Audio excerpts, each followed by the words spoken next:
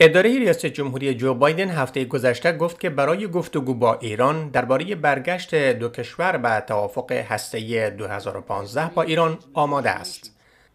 دونالد ترامپ رئیس جمهور پیشین ایالات متحده از این توافقنامه خارج شد و تعذیراتی را بر ایران وضع کرد که به تدریج نقض شروط این توافقنامه آغاز کردید.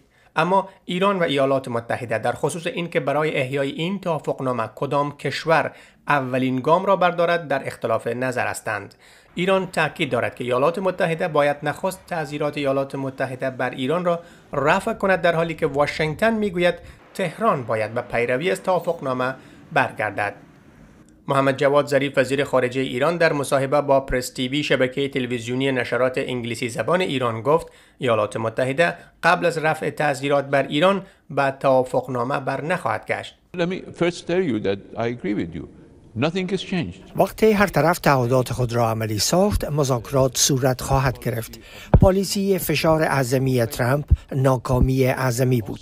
اما آنها پالیسیشان را در قبال ایران تغییر نداده اند ایالات متحده به اعمال فشار تعذیرات و زورگویی عادت دارد. این روی کرد در قبال ایران کارا نیست.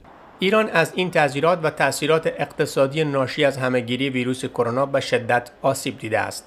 پارلمان تحت کنترل افراطیون ایران مسای احیای این توافقنامه را پیچیده تر ساخته است زیرا این نهاد تقنینی قانونی را سال گذشته تصویب کرد که حکومت را به پایان دادن عملی کردن پروتکل علاوگی از تاریخ 23 ماه فبروری در صورت عدم رفع تعذیرات ملزم می سازد.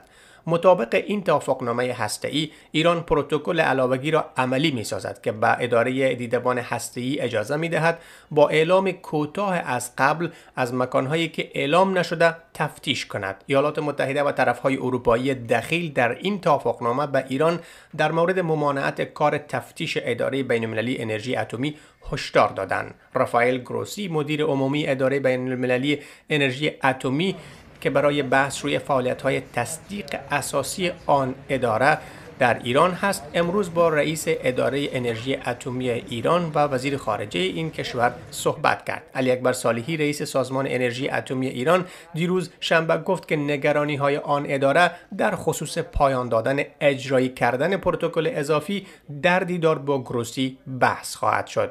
محمد احمدی تلویزیون آشنا آمریکا واشنگتن.